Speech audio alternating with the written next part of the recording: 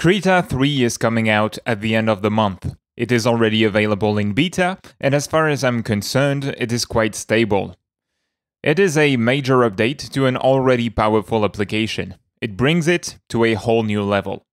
It ships with a new rendering engine, a traditional animation toolset, an overhauled layers docker, rulers, grid, guides, snapping support, a brand new tablet code which supports more Wacom alternatives, and more, yes.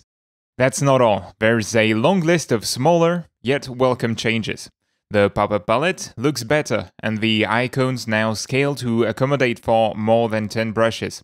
The layer picking and move tools are more flexible. There is a new gradient mapping filter for color grading, as well as an original blending mode for smooth painting with transparent pixel brushes.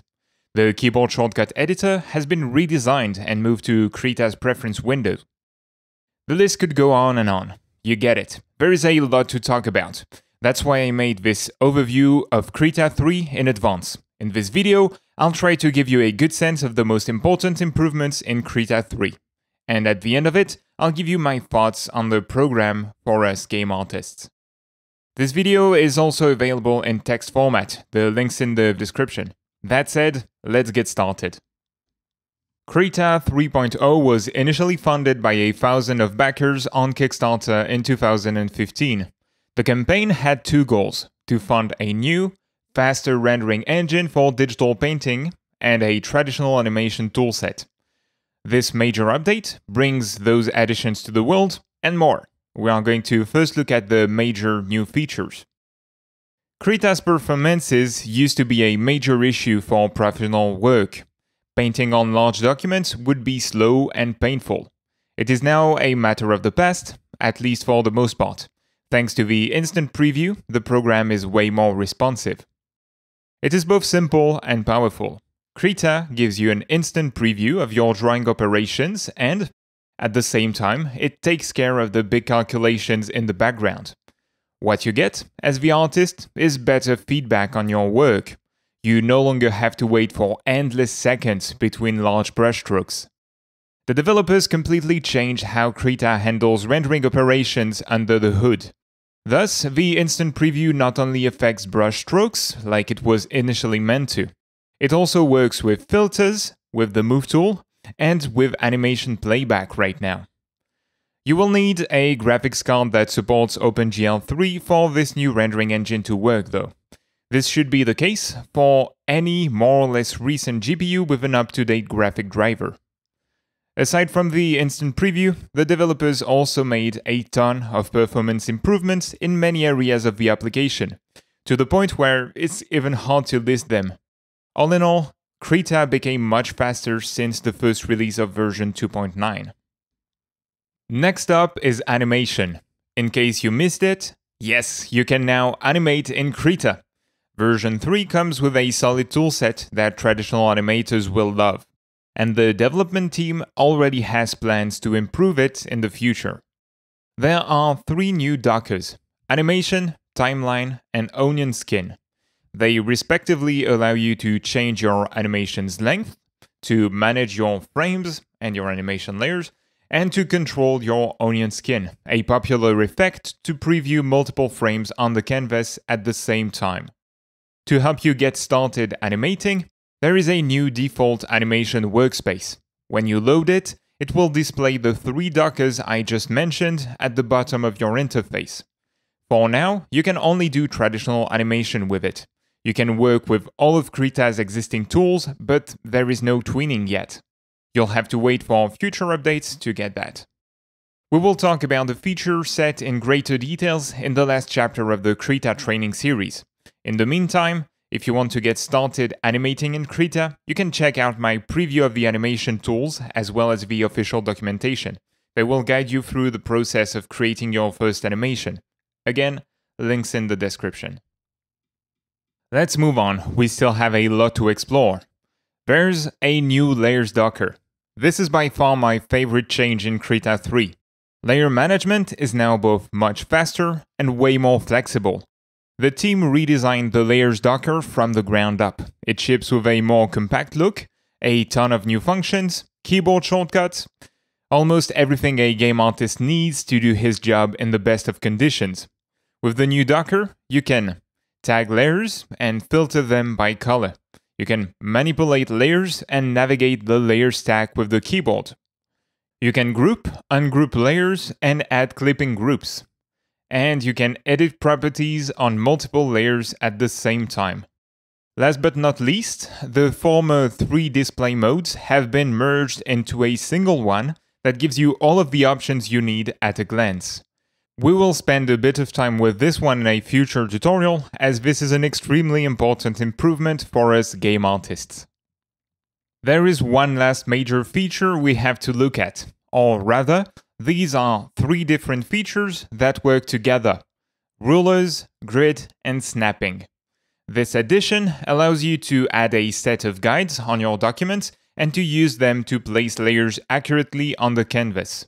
The grid and rulers are both managed in the same Docker called Grid and Guides. The Grid tab replaces the Toolbox Grid tool. It is a more flexible version of it.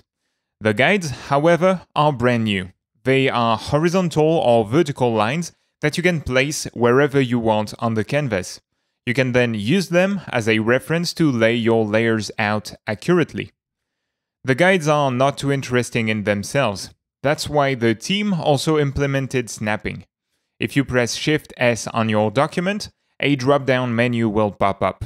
It lists a handful of snapping options for you to toggle on or off. Snapping works with grid and guides, but it doesn't end there. It also works with vector shapes, with the geometric tools, with the transform tool, and more. It doesn't work in every situation just yet. For instance, if you try to align the bounding box of a layer with guides, they will not snap. Only the center of your selection will. Yet, this already opens up a whole new range of possibilities with Krita, and it will come in handy when we start to create user interface for our games. We can also expect further improvements of that feature in future versions. On a side note, under the hood, Krita's code went through major changes. The developers ported the program to Qt 5 and the KDE Frameworks 5. These popular code libraries power Krita's interface. They are part of the application's foundations. The port was a massive task, but it will give the team a stable ground for future updates. That's it for the major additions, but we're not done yet. There are 12 smaller new features we need to cover. These changes are minor, but they add up to the main ones and turn Krita into a better application all round. As I told you in the introduction, the tablet code has been rewritten from scratch. Krita 2.9 would just not recognize a variety of tablets. Version 3, on the other hand, already supports more devices, especially Wacom alternatives. In case you couldn't use your tablet in the previous version, you should definitely give it a try. The layer picking tool and the move tool have both been improved. You can now pick multiple layers at the same time with the R key. Just keep the Shift key down and click on the canvas to add layers to your selection. You can also drag your cursor across your document with both the R and the Shift keys down and Krita will select all of the layers under your cursor. The Move tool got some love as well. You can now nudge your selection around with the arrow keys. If you keep the Shift key down and press an arrow, your layer will move by 10 pixels in the direction of your choice. Without Shift, it will move in 1 pixel increments only. Another change relates to the Assistant tool. The assistants now have a little widget attached to them to control each and every instance separately. The little UI elements move along with the origin of the assistant to help you keep track of them more easily. The keyboard shortcut editor has moved to Krita's preferences. It now sits next to the canvas input settings where you can edit all canvas related shortcuts. It feels more natural to edit all of the program's options in that unique pop-up window. The shortcuts themselves are now arranged in categories. Unlike before, you can create shortcut schemes to save on your hard drive. Krita ships with three different schemes, default, Photoshop compatible, and Paint Tool SAI compatible.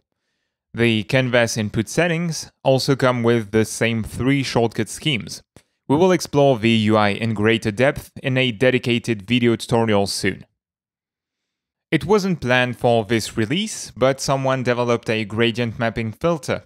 It is still a work in progress, yet it's something game artists will be happy to see. In case you don't know, gradient mapping is a process by which you map the values of your image to the colors of a gradient. The lower values will be replaced by the colors on the left of the gradient, and the bright tones will be replaced by the colors on the right of the gradient. This is a powerful tool that allows you to quickly change the mood of your image, but also to give a black and white composition some base colors. The filter doesn't take advantage of the instant preview yet. It is not available as a filter layer, and it doesn't preserve your layer's alpha channel, so it is still a bit cumbersome to use. You'll have to wait for a future update to take the most out of it. There is a new blending mode in the mix category, humbly named Greater. I've never seen something quite like that in another painting program, but you know what? It's great. With the Pixel Brush engine, overlapping transparent strokes look ugly in normal mode. They don't blend smoothly, which is how normal blending works. The greater blending mode solves this issue. It prevents new strokes from increasing the opacity of existing pixels past your current maximum opacity setting. It may not sound intuitive, but looking at it should be quite telling. You can now both load and save animated brush tips using GIMP's GIH format. You could already import GBR files like Photoshop's ABR files. Krita would load the brush tip and add it to your library automatically. To get an animated tip, you have to use the Import Resources button in the brush preset editor. If your GIMP file contains multiple layers, you will be able to import them as an animation. Animated brush tips allow you to add variation to your brush strokes while painting. Krita can pick a different frame of your animation based on your drawing angle or your pen pressure, for instance. The pop-up palette got a little polish in this version. The brush icons are now displayed as circles, so they'll always show most of a preset's thumbnail. They will also automatically resize based on the amount of brushes you want to display. It is easier to pick the right brush among a dozen or more now. There are a few Windows-specific improvements in Krita 3. The first one relates to G'MIC, an open-source image processing library. It is now stable on Windows. It shouldn't crash anymore. Not only that, it now uses all of your CPU threads for rendering, thus it is much faster. You can find it at the bottom of the filter menu. This tool provides a library of more than 400 image effects. They range from simple artistic filters, blurs and sharpen masks, to powerful layer splitting tools, as shown in a comic book coloring tutorial by David Revoy that I really recommend. You can find the link in the description. Next, you can now import and export PDF files on Windows. This was already possible on Linux, but not on Microsoft's operating system. Krita will convert your PDF's pages to pictures, and it will convert your document to a static picture as well when it is exported to PDF. There is one last Windows-specific addition, the shell extension. This tiny program gives the Windows Explorer the ability to display thumbnails and metadata for your Krita files. It will both give you a thumbnail of your file in the browser and a preview on the right column of the Explorer. It is really great as it makes it easy to organize your Krita files on your hard drive. And we are getting to the 12th smaller feature added in Krita 3.0. Krita can now convert your document to Spriter's format. Spriter is an affordable modular animation program for video games. Right now, in the beta version, the Explorer is still a work in progress, but it should be ready for the full release at the end of the month. Krita will convert your document's whole hierarchy so you can directly rig and animate your characters in Spriter. Okay, that's a long list of changes. But that's not all. Since May 2015, the development team released 11 updates for Krita 2.9. These brought a wide range of improvements to the program. As you can guess, a lot has changed since last year, to the point where there is just too much to talk about. I made a video a few months ago to highlight some of those changes added in monthly releases in 2015. You can check it out if you haven't already. It's in the description. Now you know what Krita 3 has in store for you, but you might want to know what the update is really worth overall, especially if you are just following the weekly videos on the YouTube channel. You may have barely used the program and you could be wondering, should I give it a try? So let's wrap up the video by a quick review of Krita 3.0. I have been following Krita's progress since the first Windows release, version 2.8. At first, I found it quite impressive for an open source project, but it was way behind mainstream programs for game artists. It was unstable, slow, and it lacked too many features for me to do my job. I'm really picky with the programs I choose. I only work with tools that are flexible and that feel well designed. Although I'm deeply interested in open source, I wouldn't shoot myself in the foot just for the sake of using open source tools. I still work every single day with the Office suite from Microsoft and FL Studio, for instance. Yet, I've been working with both Krita and Photoshop side by side for the past 9 months. If I have done so, it is only because the experience was satisfying. Krita has some unique tools to its name. You can draw in horizontal, vertical, and radial symmetry. There is a built-in brush stabilizer. Perspective guides. It is not perfect, performances have been a major drawback. You have to work on big documents as a 2D game artist, and Krita didn't like that. But again, this is mostly fixed in version 3. Krita is great when it comes to painting. As far as games are concerned, it is a great tool for character design, environment design, and hand-painted textures. Heck, even for animation. If you specialize in one of those fields, I bet you will like it. However, right now, it is not the best tool for everything. It is far from ideal when it comes to creating user interface, and you cannot batch export your sprites directly from the program. So I'll be honest and give you my final thoughts. Krita still isn't the ultimate solution for game artists. But Krita 3 is a great application and a healthy open source project. The developers release updates almost monthly. They listen to the community, which is invaluable in my opinion. They take anyone's feedback in account as long as it's constructive. As far as I am concerned, the program is mature for professional use. It is not perfect yet, but it is very powerful. It does compete with proprietary alternatives I've tried in the past, and it's growing fast. As I make Krita tutorials, you can bet I'm going to recommend it. I invite you to give it a try for yourself and see what it is worth if you haven't already. I am sure you will enjoy the experience.